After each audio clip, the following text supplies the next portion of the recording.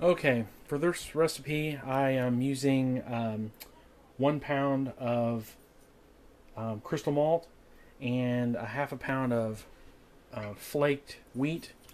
And basically, what you want to do is you want to add it in here uh, before it starts to boil or as it's coming to a boil.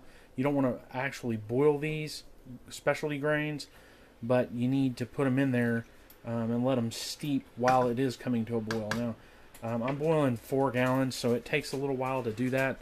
So it, it has some time to come up to, to temperature and get ready to start boiling. That's a long process, actually. Um, so a lot of people, they will put theirs in um, in, a, in a bag of some sort, and I just dump mine straight in, and then I strain it out later. So you'll see that here in a little bit. But right now, we're just uh, basically waiting it for it to come up to a boil.